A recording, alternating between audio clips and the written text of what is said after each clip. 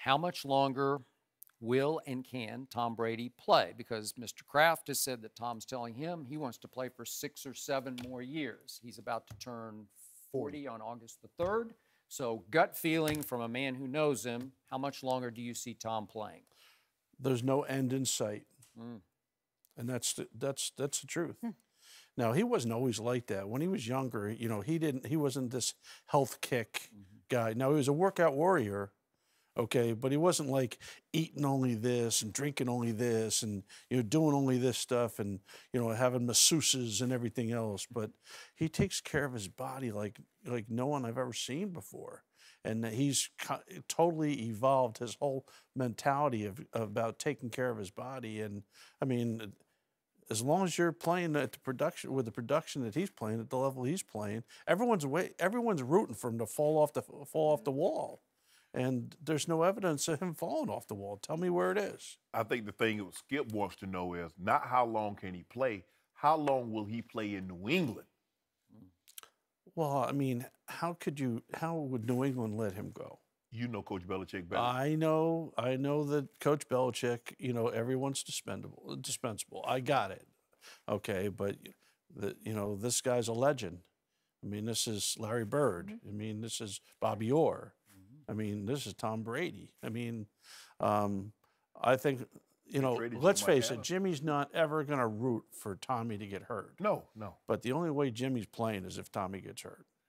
Okay, but they're going to have to make a decision pretty soon here. Well, the, it's an easy decision for the Patriots now. You say make a decision. There's no decision for the Patriots. You go try to sign them because you can't have enough quarterbacks.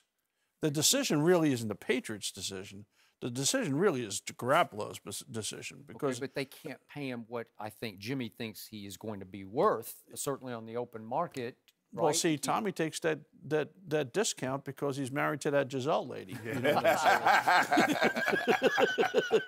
Well, it helps if your wife is making 40, 50 million dollars a year. Well, he's going to have to take a deep discount Yeah. on this one. I remember when he goes, "Yeah, I'm making 20. She's making 50." I said, well, "Okay."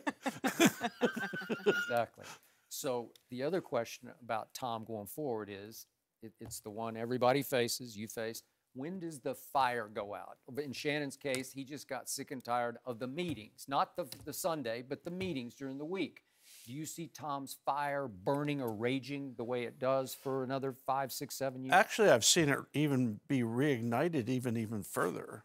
I mean, with now that he's embedded into one area, he's uh, got his kids around him, and he gets to be dad and all that other stuff. He's not, you know, living the high life, flying all over the world like he was when you're single. Right. You remember now? I knew him when he was, you know, you know when when no one no one knew him.